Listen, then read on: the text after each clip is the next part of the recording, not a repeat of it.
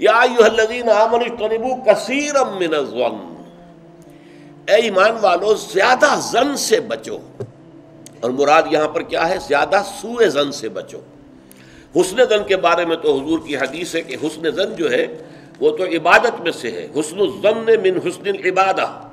यह हज़रत अबू हुरारा से रिवायत है और ये मुस्तद अहमद इबन हम्बल में भी है और सुनन अबी दाऊद में भी है उनके हवाले से मिशकात में भी है। इस एतबार से हुसन जन तो मुसलमान का वस्फ है। सबसे हुसन जन रखो।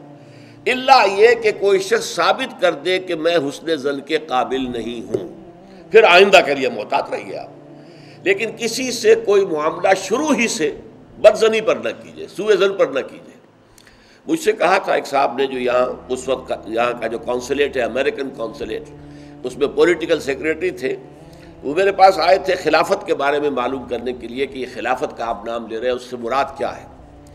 तो वहीं फिर गुफ्तु हुई कि कॉन्स्टिट्यूशंस के अंदर जो मैकेनिज्म रखे जाते हैं चेक्स एंड बैलेंसेस तो उसने कहा, हम तो ये समझते हैं, हमने अपना दस्तूर इस बुनियाद पर बनाया है कि हर शख्स चोर है, हर शख्स बेईमान है और हमें उसका सद्देबाब करना है। बड़े से बड़ा आदमी हो, बड़ा नेक हो, ईमानदार हो, उसके बेईमान होने में देर नहीं लगती। लिहाजा हमने तो अपना दस्तूर बनाया है कि हर जगह पर चेक्स हों बैलेंसेस हों, और कहीं भी इख्तियार जो है इतना ना हो जाए कि कोई शख्स अगर बिगड़ जाए तो उसके हाथों जो है वो कौम की और मुल्क की और पूरी रियासत की मिट्टी पलीद हो जाए। ये इस्लामी उसूल नहीं है। इस्लामी उसूल ये है, इब्तदान आपका मामला किसी से भी हो, हुसन जन की बुनियाद पर होगा।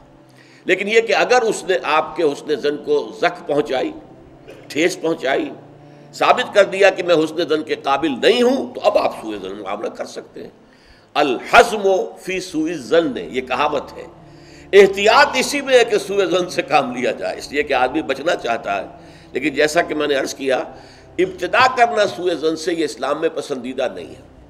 लेकिन यहाँ देखिए, फरमाया, इजतनबू कसीरम मिन जन ज़्यादा जन से बचो। वरना इसलिए कि ज़ाहिर बात है कि जन से बिल्कुल छुटकारा तो मुमकिन नहीं है।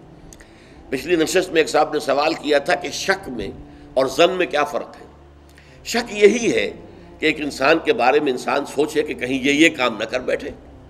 मैं अतमाद तो कर रहा हूँ, कहीं ये मेरे इस अतमाद को ठेस ना पहुँचाए।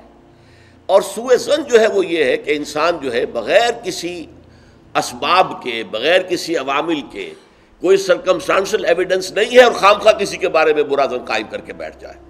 वो गोया कि फैसला होता है। सुए जन जो है वो फैसला हो जाता है कि मुझे इस शख्स के साथ मामला सुए जन के साथ करना है। ये नहीं। अलबत् शक का पैदा हो जाना। तो ये कोई बुरी बात नहीं है। इंसान ज़रा सा एहतियात का पहलू मलहूज रख ले। तो फरमाए याजीन आमन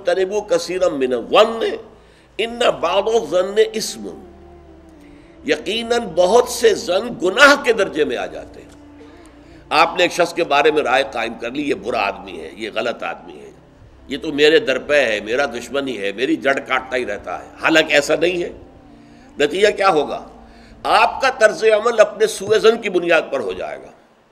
हर वक्त जो है आपके तर्ज अमल से ज़ाहिर होगा, वो सारा आपके अंदर जो भरा हुआ मवाद है, और इससे हो सकता है उस दूसरे शख्स की खाम का दिल शिकनी हो, उसके एहसास मजरू हों, और तुम्हारे हिस्से में अल्लाह की तरफ़ से, अल्लाह के आपके जानब से अमाल नामे में गुनाह का इंदराज हो जाए।